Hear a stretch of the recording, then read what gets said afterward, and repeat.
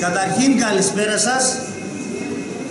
Είμαστε πολύ ευχαριστημένοι που μας τιμάτε σήμερα με την παρουσία, μας, με την παρουσία σας εδώ.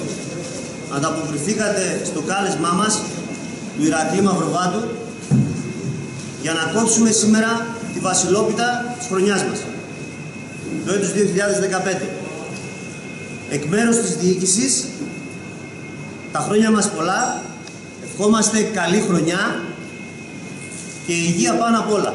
Να ευχηθώ και εγώ με τη σειρά μου καλή χρονιά σε όλους, χωρίς τραυματισμούς, κυρίως για μας που είμαστε αθλητές, ποδοσφαιριστές, μικρά παιδιά και άντρες, να μην υπάρχουν τραυματισμοί και να συνεχίσουμε το έργο που μας αρέσει, που αγαπάμε και να ακολουθήσουμε την προσπάθειά μας.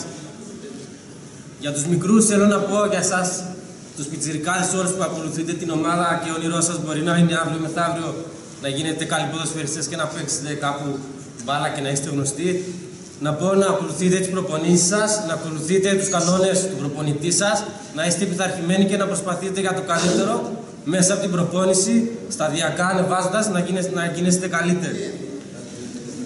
Στα 17 χρόνια υπηρεσία σε, σε ομάδες ε, είναι η πρώτη χρονιά που βλέπω πραγματικά τόσο αγαπημένη διοίκηση, γονείς, παιδιά και είμαι πολύ συγκινημένος.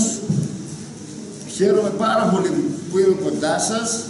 Ε, θέλω γενικότερα μέσα από τα βάθη της ψυχής μου να δουλέψω για τα παιδιά μας, να βγάλουμε σωστούς ανθρώπους, πρώτα απ' όλα να σέβονται τον εαυτό τους, τον συμπέκτη τους, τον γονέα τους, τους μεγαλύτερους και στο τέλος αυτά τα παιδιά που είναι να μάθουν μπάλα θα έχουν τον δρόμο τους.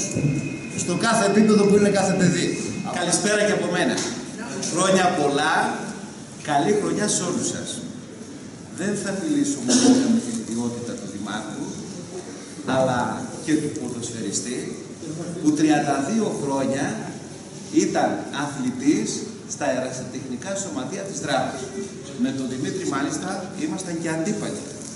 Αλλά πάντα δεν μπορούσε να βάλει γκολ. Ήμουν καλός στην παντούλα. Όπως βλέπω πολλά νέα παιδιά, τα οποία τα έχω παρακολουθήσει στα γήπεδα μέσα, αλλά το βασικότερο για μένα και το κυριότερο είναι ότι σήμερα, σε αυτή την προσπάθεια που καταβάλει η ομάδα, βλέπω τα νέα τα παιδιά. Που αυτά τελικά είναι το μέλλον του ποδοσφαίρου και γενικά του αθλητισμού. Σε αυτά λοιπόν τα παιδιά πρέπει να δώσουμε την προσοχή αν θέλουμε αύριο να έχουμε καλούς αθλητές, καλούς ποδοσφαιριστές που θα πλαισιώσουν την ιστορική μας ομάδα τη δόξα και στη συνέχεια την Εθνική Ελλάδα. Σήμερα για μένα καλή χρονιά, χρόνια πολλά, με υγεία, ευτυχία σε όλους, λιγότερους τραυματισμούς ε, και στη μεγάλη ομάδα της εύχομαι όσο μπορεί να έχει περισσότερες νίκες.